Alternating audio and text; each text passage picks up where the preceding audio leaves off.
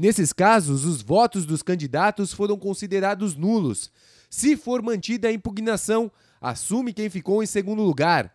Mas se o recurso for aceito pela Justiça, os mesmos votos voltam a ser considerados, como é o caso de Ivon de Souza, do PSDB, em Palhoça. Segundo essa resolução 23372, que serve a todo o país, não é específico para Palhoça. Em seis municípios poderá haver uma nova eleição, já que nessas cidades os candidatos, mesmo com os nomes questionados na Justiça, conquistaram mais de 50% dos votos dos eleitores. São eles: Odilson Lima, do PR de Campoerê, Antônio Comadoli, do PT de Presidente Nereu, Robens Resch, do PMDB de Tangará, e Vilmar Carelli, também do PMDB, mas em Videira. Em Balneário Rincão, no sul do estado, a primeira eleição da história do município também está na lista.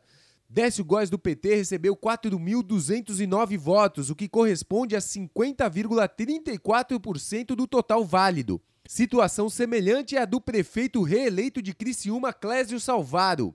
Mesmo tendo conquistado quase 86 mil votos, ou seja, 76,47% do total, ele aguarda a decisão da Justiça para saber se poderá reassumir o cargo ou se o município também terá novas eleições. Não me pergunte da Justiça, da Justiça dos tribunais. Me pergunte, os repórteres, daquilo que veio da urna.